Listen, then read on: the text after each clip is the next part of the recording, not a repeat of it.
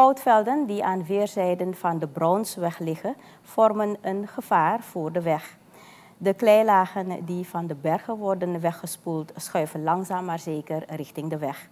Dorpshoofd Lambertus Wandels van Nieuwganzee, een dorp gelegen aan de Brownsweg, is bezorgd over de situatie. Hij luidt de noodklok alvorens zijn mensen slachtoffer worden van de activiteiten van gouddelvers. Voorkomen is beter dan genezen. daarom unulik bostur fu bronswah altet ube tak nangade goutumang medema lukuan fasi tak nombrada asisem ja o fout. Da ef demang etang uroko doro dema uroko de goutu doro da a problem ko.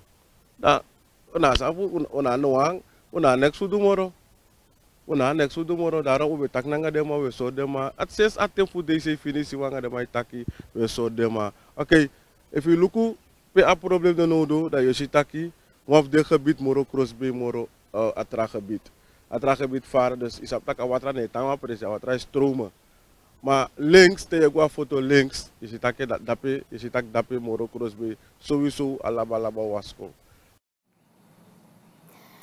De districtscommissaris van Brokkepondo, Ludwig Mendelzoon, zegt dat de situatie van goudmijnen langs de weg geen probleem van nu is.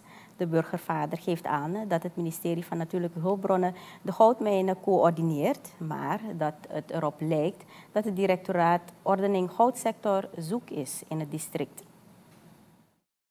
Je hebt een ministerie die daar omtrent gaat, als het gaat om, om, om, om mijnen in het land.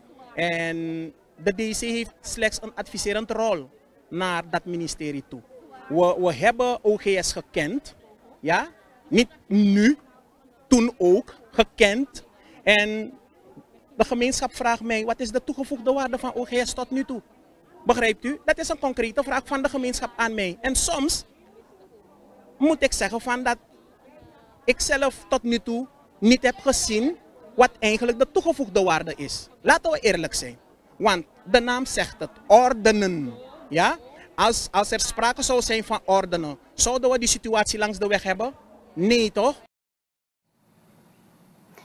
Onze nieuwsredactie heeft geprobeerd contact op te nemen met minister David Abiamofo van Natuurlijke Hulpbronnen, maar dat is niet gelukt.